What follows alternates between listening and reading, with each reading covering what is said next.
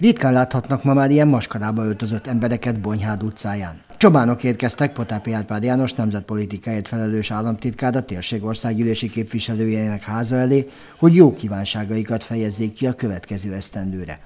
A misztérium játék a 18. században alakult ki a székelség körében, és a hagyomány szerint a forgatókönyv a bukovinai falvakban kisebb eltérésekkel ugyanaz volt. Semmiféle átok! Ne forduljon hozzátok! Tulajdonképpen egész Kárpát-medencében működik ez a, a betlemezés, sőt most már világ, világhírű is lett a Andrásvali betlemes játék, és most már sajnos színpadi mű maradt, tehát színpadokon adják elő. A befogadás és a játékban való részvétel lehetősége is nagy tisztesség volt az 1920-as, 30-as években végleges formáját elnyerő játékban. Minden keresztény nép kultúrájában megvannak hasonló szokások.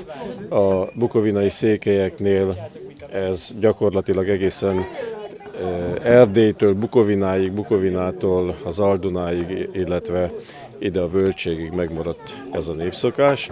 Most akik itt voltak, azok, ahogy elnézem a, a szereplőket, minimum három faluból származnak, Bukovinai Székely faluból, Hadikból, Istensegítsről, illetve Andásfalváról így el, el, látva a szereplőket, de minden faluban meg volt ez a szokás. Egy kicsit minden faluban más és más volt, de most egy, egy ilyen egyveleget láthattunk. Örülök annak, hogy fogadhattam őket. A bukovéniai székelyek áldást hozó játékát a nap folyamán több csoport is bemutathatta Kakasdon, ahol csobán találkozóra került sor.